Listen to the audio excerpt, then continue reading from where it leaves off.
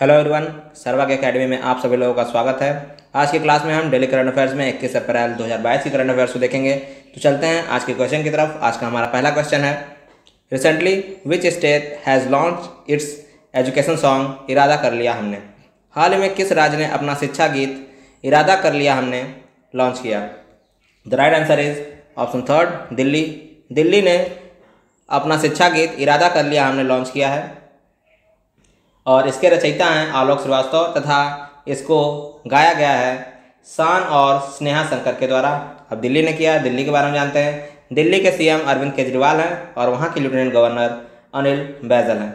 बढ़ते हैं अगले क्वेश्चन की तरफ़। हमारा अगला क्वेश्चन है which state launch the e kitab course under the e library initiative e library पहल के तहत ई किताब कोर्स का शुभारंभ किस राज्य के द्वारा प्रारंभ किया गया?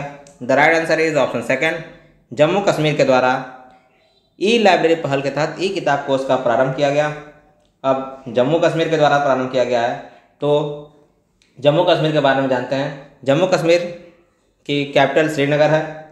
जम्मू कश्मीर के लेफ्टिनेंट गवर्नर मनोज सिन्हा हैं। हम आपको बता दें, जो यह ई किताब कोर्स जारी किया गया है, यह पाँच भाषाओं में जारी किया गया है। हिंदी, उर्दू, डोंगरी, इंग्लिश और कश्मीरी। और इसे किसने जारी किया है? जम्मू कश्मीर के मुख्य सचिव अरुण कुमार मेहता के द्वारा। यह जारी किया गया है।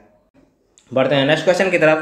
हमारा अगला क्वेश्चन है under whose chairmanship the supreme court constituted a twelve member expert committee for Delhi Dehradun economic corridor उच्चतम न्यायालय ने दिल्ली देहरादून आर्थिक कॉरिडोर के लिए किसकी अध्यक्षता में बारह सदस्यीय विशेषज्ञ समिति का गठन किया?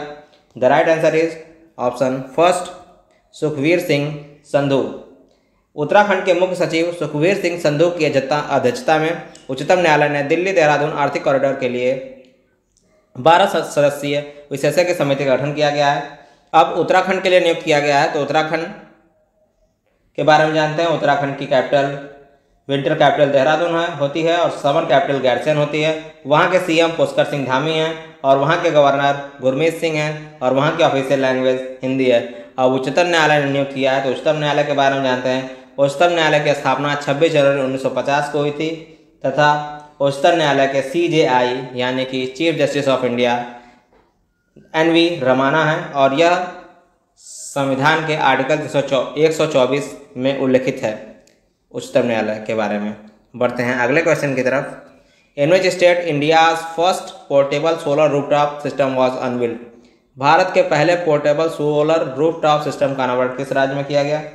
The right answer is option first Gujarat. Gujarat के गांधीनगर में स्वामी नारायण अक्षरधाम मंदिर में इसका अनावरण किया गया। अब गुजरात में किया गया तो गुजरात के बारे में जानते हैं। गुजरात की कैपिटल गांधीनगर है। गुजरात के सीएम भूपेंद्र भाई पटेल हैं। वहाँ के गवर्नर आचार्य देवव्रत हैं। वहाँ की ऑफिशियल लैंग्वेज गुजराती है।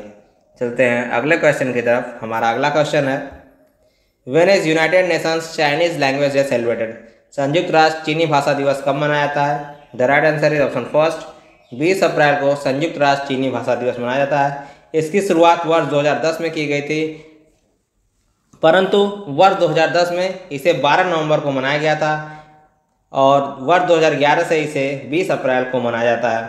अब यूनाइटेड नेशन ऑर्गेनाइजेशन के द्वारा इसका मनाया जाता है तो उसके बारे में जानते हैं। यूनाइटेड नेशन ऑर्गेनाइजेशन की स्थापना 24 अक्टूबर 1945 को हुई थी। इसका हेडक्वार्टर न्यूयॉर्क में है और इसके प्रेसिडेंट अब्दुल्ला शाहिद हैं।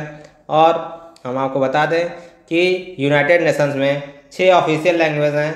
कौन कौन सी हैं? English French Chinese Arabic Spanish and Russian बढ़ते हैं। नेक्स्ट क्वेश्चन की तरफ़ हमारा अगला क्वेश्चन है। University is the Al Aqsa mosque which was in discussion recently हाल ही में चर्चा में रहा अल अक्सा मस्जिद किस शहर में स्थित है? The right answer is option fourth Israel के जेरूसलम शहर में यह स्थित है। ये चर्चा में क्यों था? क्योंकि हाल ही में इसराइल में यहूदियों का त्यौहार पास ओवर मनाया जा रहा था, जिस समय वहाँ पे दंगा हो गया फिलिपी फिलिस्तानियों के द्वारा। दंगा किया गया। तो यह मस्जिद चर्चा में रहा, यह मस्जिद हमेशा चर्चा में रहता है। यहाँ अक्सर दंगा होते रहते हैं। अब इसराइल की बात है तो इसराइल के बारे में जानते हैं। इसराइल की कैपिटल जेरूसलम है, वहाँ के पीएम नफ्ताली बेनेट हैं, वहाँ की करेंसी सेकेल है, और वहाँ की ऑफिशियल लैंग्वेज हिब्रू है। चलते हैं नेक्स्ट क्वेश्चन की तरफ़।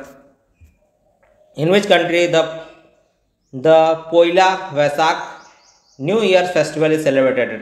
Poila Baisakh नौ वर्ष उत्सव किस देश में मनाया जाता है? The right answer is option first Bangladesh में।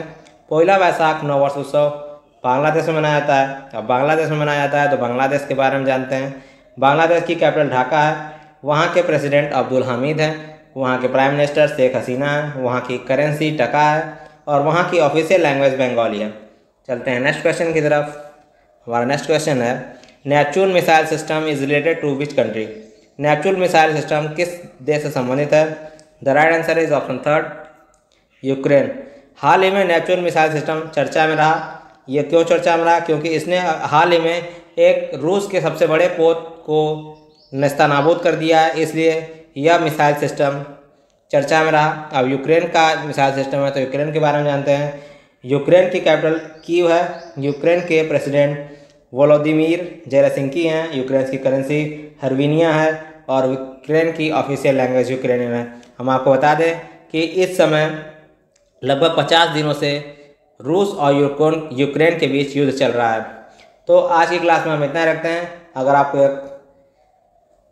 वीडियो अच्छी लगी हो तो इसे लाइक और शेयर कराना भूलें। अगर आप हमारे क्लास में पहली बार आए हैं तो इसे सब्सक्राइब ज़रूर ज़रूर कर लें, जिससे आपको वीडियो डेली डेली प्राप्त हो। मिलते हैं कल के क्लास में, कल के करंट अफेयर्स के साथ। Thank you very much